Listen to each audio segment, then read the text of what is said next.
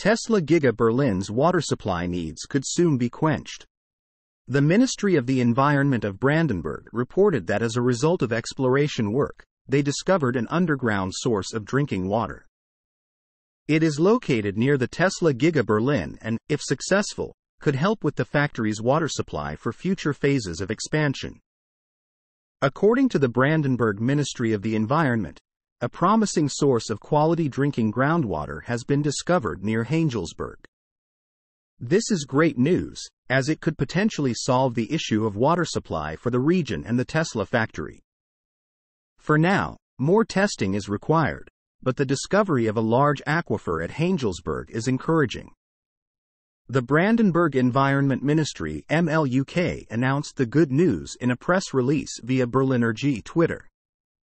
According to the State Geological Service, water exploration in Hangelsberg has shown that there is a second extensive aquifer. It is 20 to 50 meters thick and has groundwater quality suitable for drinking water treatment, said Dr. Birgit Futterer of the State Office for Geology, Mining and Raw Materials. According to the Brandenburg Ministry of the Environment, a promising groundwater supply of drinking water quality has been found near the Gigafactory. Raising hope that Tesla's and the population's water problem may be solved soon. The surveyed area east of the highway between Hangelsberg and Kienbaum is suitable for a water supplier to test pump performance there to prove the presence of groundwater, she said. Depending on the results, the responsible WSE water supplier may submit the necessary applications for the use of groundwater resources. So WSE has all essential information to take the next steps, MLUK writes. For the 170,000 people who live in the area of the association and Tesla, this seems like good news for solving the problem of water supply. The WSE currently supplies drinking water to 13 localities and three towns in Märkisch Oderland, Oder Spree, and the Barnim region, and is responsible for wastewater disposal. According to the Ministry of the Environment, based on data received, no danger from the rise of saline deep waters is apparent for this aquifer.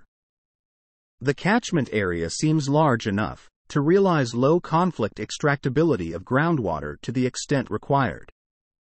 The desired volume is expected to include about 4 million cubic meters of water.